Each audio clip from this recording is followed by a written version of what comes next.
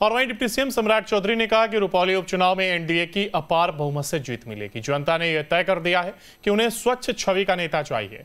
लालू परिवार की ओर से पुल गिरने के साथ केंद्र में एनडीए की सरकार गिर जाने के बयान पर भी उन्होंने पलटवार किया।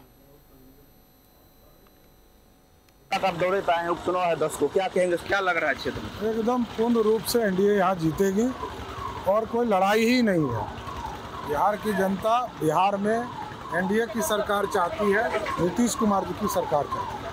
सर पुल गिरने की घटना को लेकर और एनडीए की सरकार पर आज लालू जी के पुत्र ने फिर तंज कसा। उन्होंने कहा है कि जिस तरह से बिहार में पुल गिरे उसी सत्रह में स्वाभाविक है। उन्होंने जो जो चीज़ें सेंक्शन की है वो पूरा बिहार जानता है।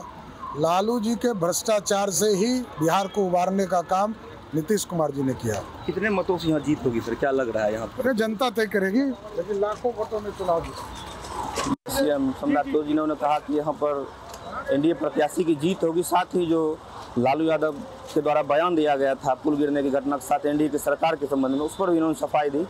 अब देखना है कि जब चुनाव होगा तो रुपौली की जनता किसके पक्ष में अपना मतदान करती है? Sushant Kumar, news nation, Purnia.